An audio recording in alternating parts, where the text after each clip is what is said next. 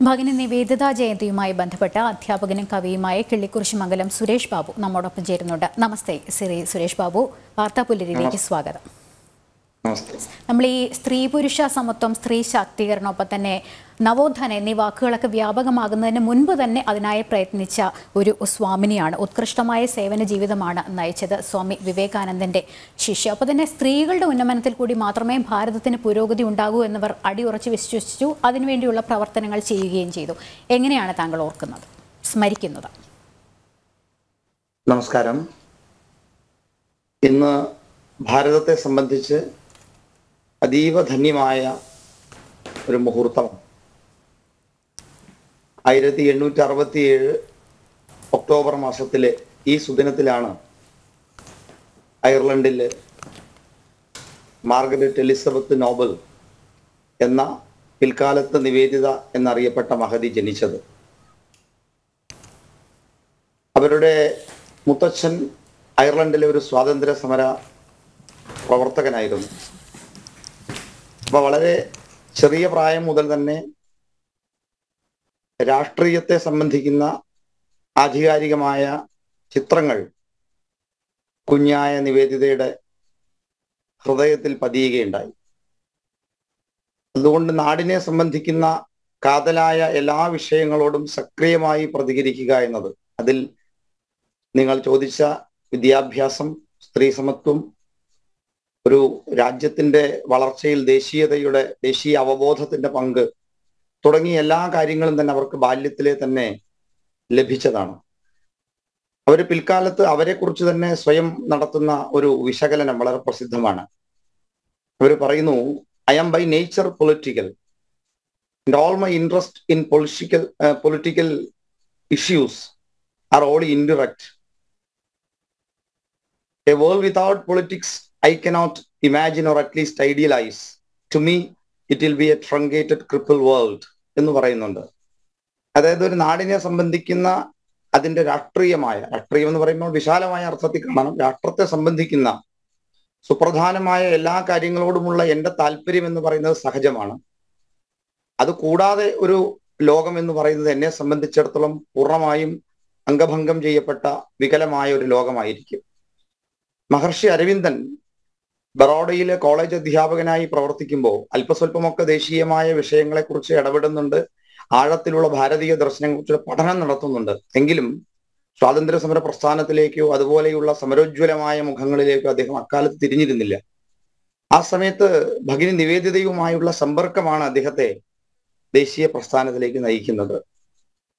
അദ്ദേഹം പറയാറുണ്ട് കണ്ടുമുട്ടുമ്പോഴൊക്കെ തന്നെ രാജ്യത്തെ സംബന്ധിക്കുന്ന അതിതീക്ഷ്ണമായ കാര്യങ്ങളെ സംബന്ധിച്ചാണ് ആ മഹതി സംസാരിച്ചിട്ടുള്ളത്. കാഴ്ചയിൽ നമ്മളൊരു സന്യാസിനിയായിട്ട് അവരെ കാണുന്നുവെങ്കിലും പലപ്പോഴും ആത്മീയമായ വിഷയങ്ങളായിരുന്നില്ല ഞങ്ങളുടെ ചർച്ച മേഖലയായിട്ടുണ്ടായിരുന്നത് എന്ന് പറയുന്നു.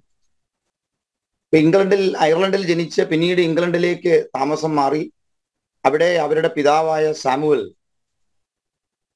തന്റെ ജീവിതത്തിന്റെ അവസാന ഭാഗങ്ങളിൽ പൂർണമായും ഒരു മതപ്രവർത്തകനായി മാറി.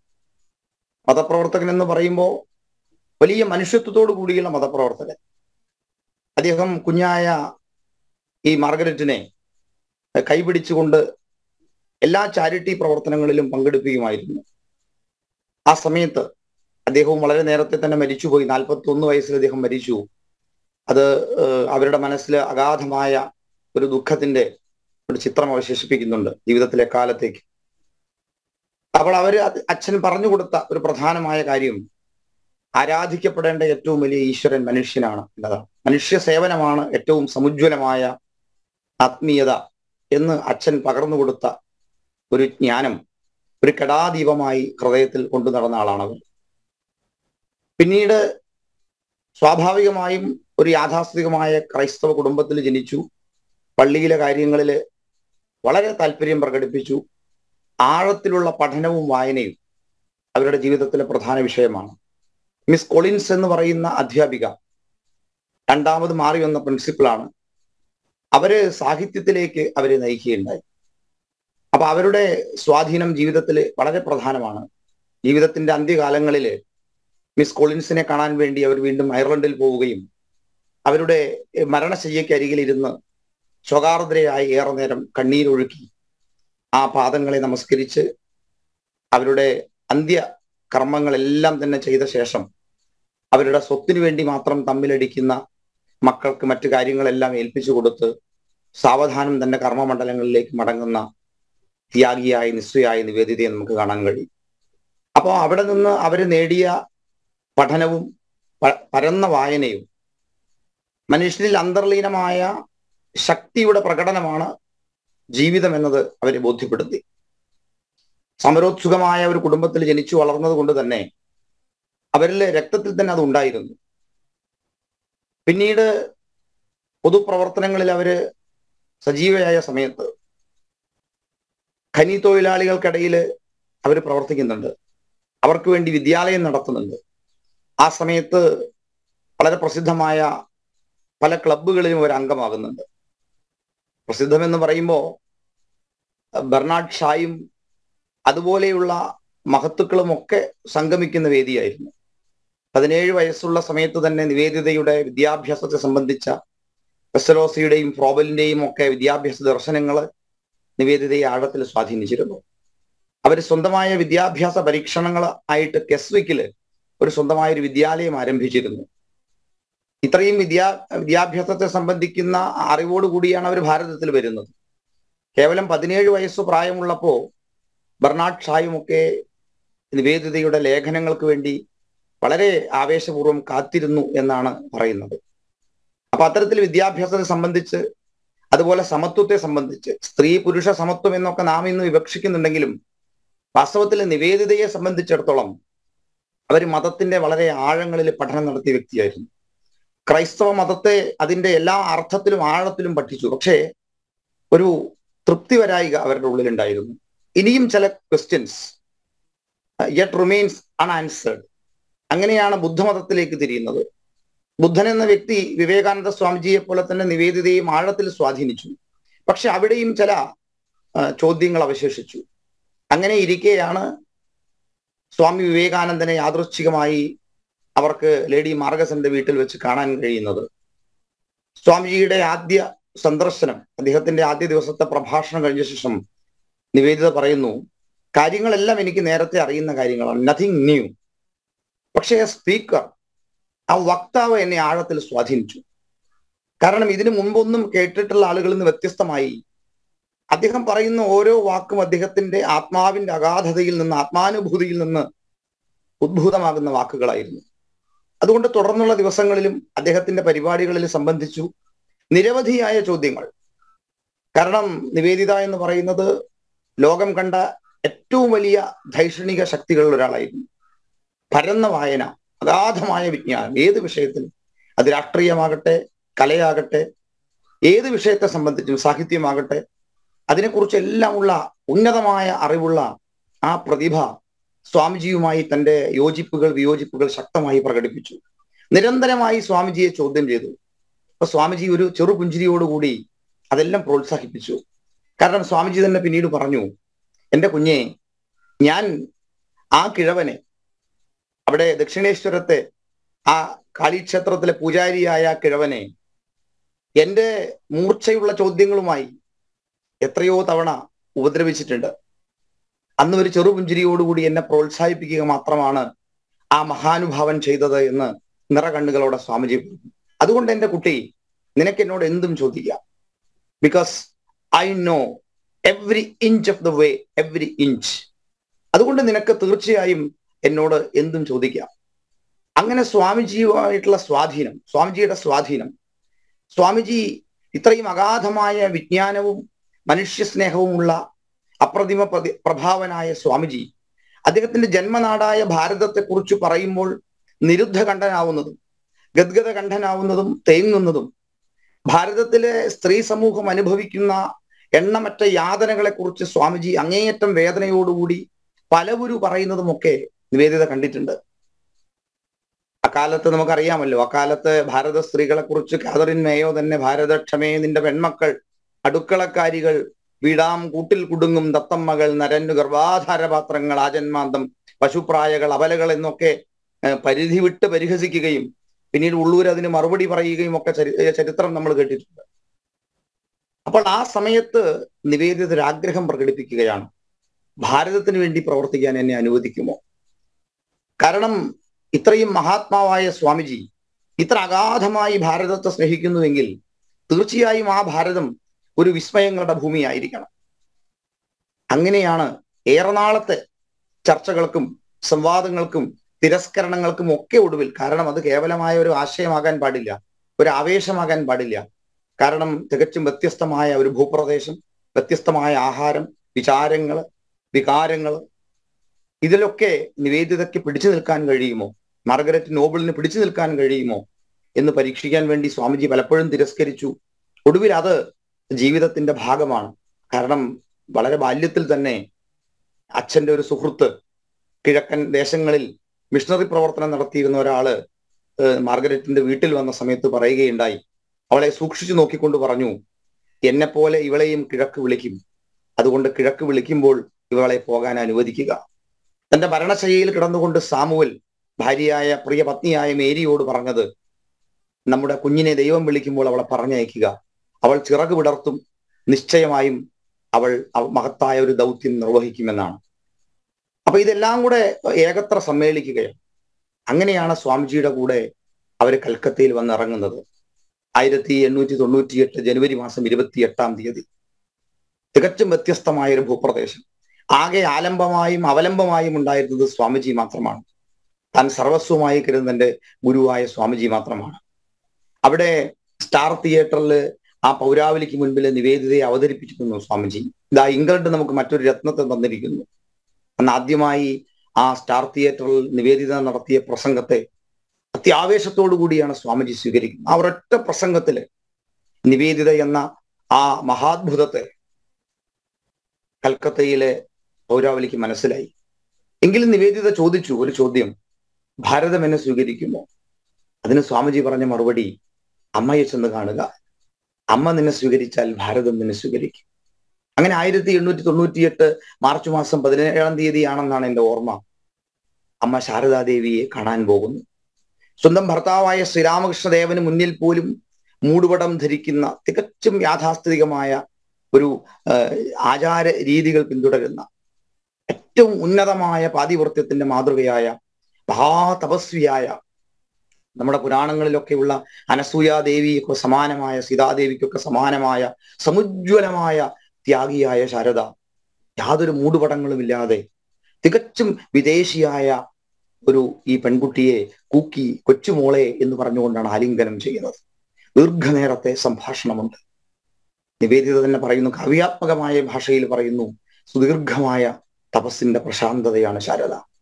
ശക്തിയുടെ ആവിർഭാവത്തിന് വേണ്ടി ഭാരതത്തിലെ ഇരുണ്ട കോണുകളിലേക്ക് തളയ്ക്കപ്പെട്ട സ്ത്രീ ശക്തിയുടെ നാരീ ശക്തിയുടെ ശക്തിയുടെ ആവിർഭാവത്തിനും ഉയർച്ചയ്ക്കും ഉണർവിനും വേണ്ടി ഉയർന്ന അമ്മയാണ് അവതാരം കൊണ്ട് അമ്മയാണ് ശാരദ എന്ന് പറയുന്നു. അങ്ങനെ ശാരദാദേവിയുമായുള്ള സമ്പർക്കം അമ്മയിൽ നിന്ന് കിട്ടിയ ആത്മീയമായ അനുഗ്രഹം അത് നിവേദിതരുടെ ജീവിതത്തിലെ വലിയ കരുത്താണ്. ഈ ഒരു ശക്തിയോടുകൂടിയാണ് അവിടെ ബോസ്പാറ ലൈനിൽ പാവപ്പെട്ട പെൺകുട്ടികൾക്ക് വേണ്ടി ഒരു വിദ്യാലയം നിവേദിത ആരംഭിക്കുന്നത്.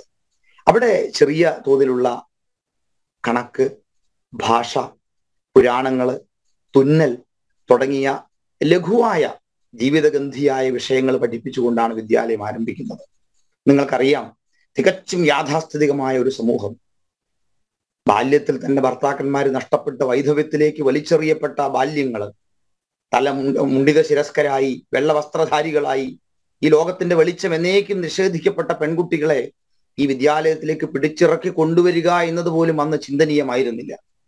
എങ്കിലും ശരി നിവേദിതയുടെ ദൃഢനിശ്ചയത്തിന് മുൻപിൽ അവരുടെ പ്രവർത്തനത്തിന് മുൻപിൽ ആ വിദ്യാലയം ആരംഭിച്ചു. നിർഭാഗ്യവശാൽ സാമ്പത്തിക പ്രശ്നങ്ങൾ കൊണ്ട് അത് പലപ്പോഴും നിന്നുപോയിട്ടുണ്ട് പക്ഷെ അത് പിന്നീട് വളർന്നു വികസിച്ചു. അത് ശാരദാ മിഷനായും മഠമായും ഇന്ന് കാണുന്ന നിരവധിയായ തരത്തിലുള്ള വലിയ ആത്മീയവും വിദ്യാഭ്യാസപരവുമായ പ്രവർത്തനങ്ങളും ഒക്കെയായിട്ട് വികസിക്കുന്നതായ കാഴ്ച നമുക്ക് കാണാൻ കഴിയും. വിദ്യാഭ്യാസത്തെ സംബന്ധിച്ച് നിവേദിതയ്ക്ക് വലിയ കാഴ്ചപ്പാടായിരുന്നു. വിദ്യാഭ്യാസം എന്ന് പറയുന്നത് കേവലമായ അറിവിന്റെ സമ്പാദനമല്ല.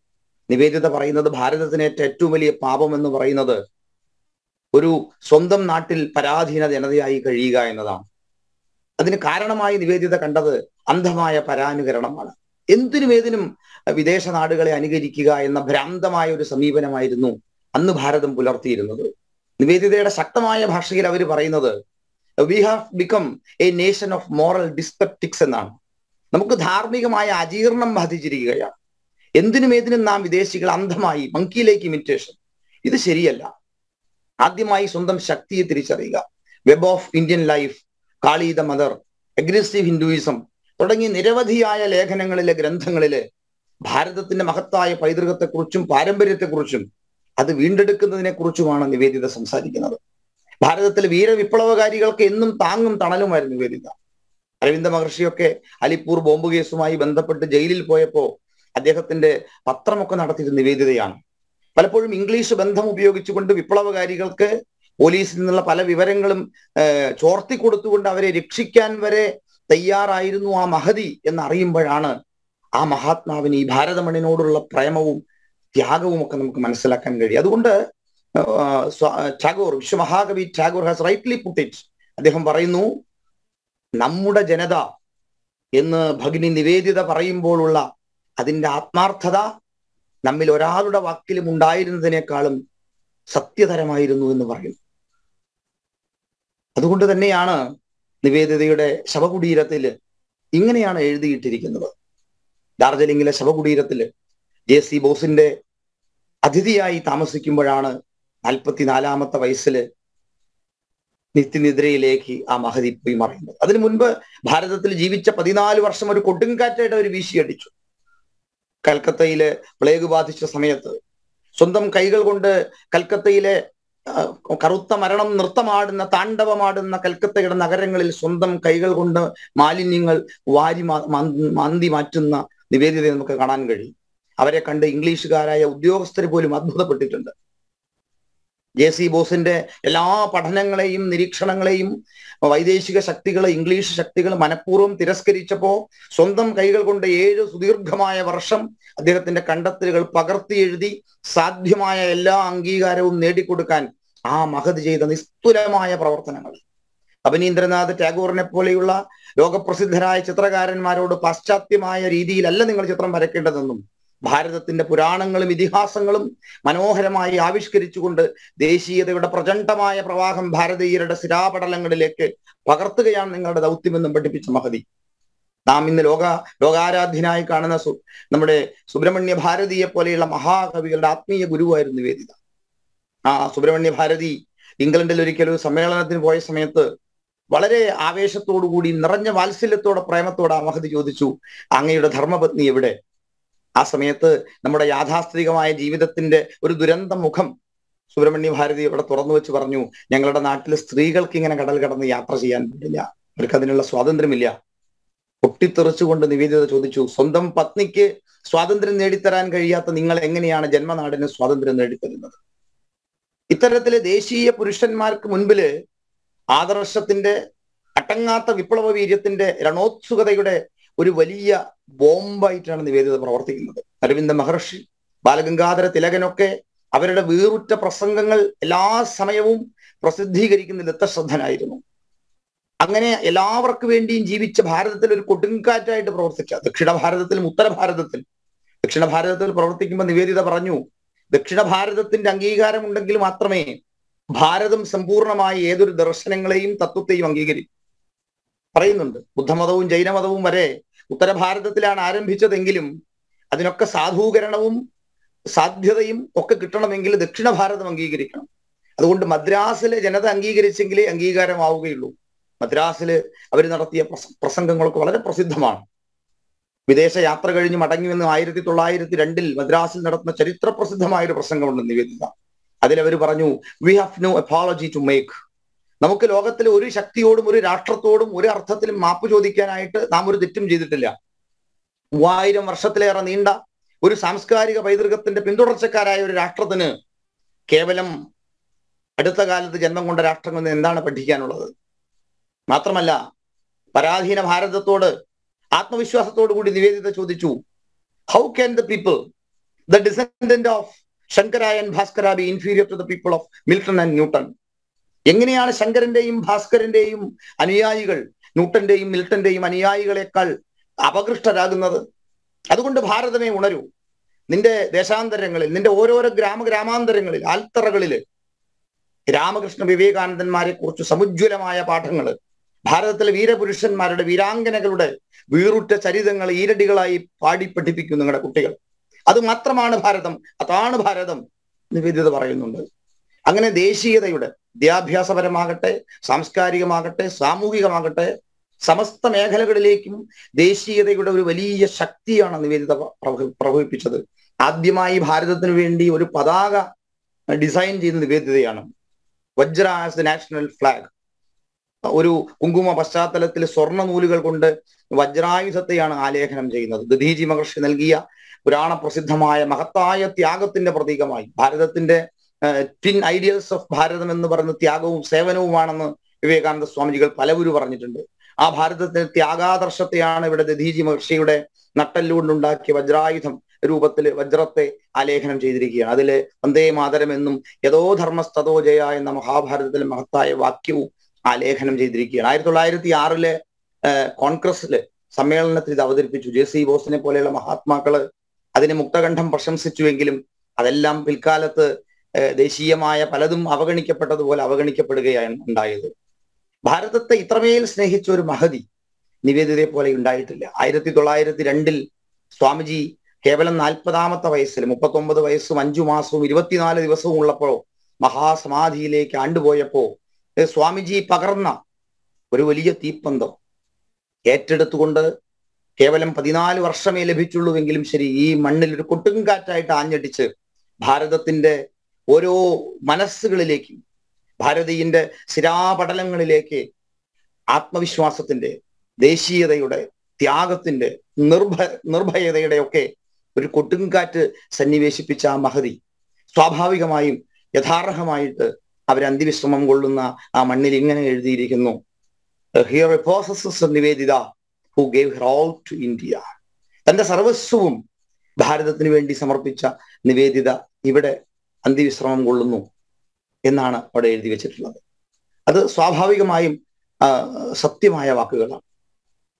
വിദ്യാഭ്യാസത്തെ സംബന്ധിച്ചും ദേശത്തെ സംബന്ധിച്ചും ദേശീയതയെ സംബന്ധിച്ചും പൗരുഷത്തെ സംബന്ധിച്ചും ഒക്കെ നിവേദിത ഏറെ നമ്മെ പഠിപ്പിച്ചിട്ടുണ്ട്. നാം അത് എത്രമാത്രം പഠിച്ചു എന്നതാണ് ഓരോ സമയത്തും ഓരോ നിമിഷവും നാം ചിന്തിക്കേണ്ടത്. അധ്യാപകനും കവിയുമായ കിള്ളിക്കുറിച്ച് മംഗലം സുരേഷ് ബാബുവാണ് ഇത്രയും നേരം സംസാരിച്ചത്. വളരെയധികം നന്ദി ശ്രീ സുരേഷ് ബാബു. ഉത്കൃഷ്ടമായ സേവന ജീവിതത്തെ സ്മരിച്ചതിന്.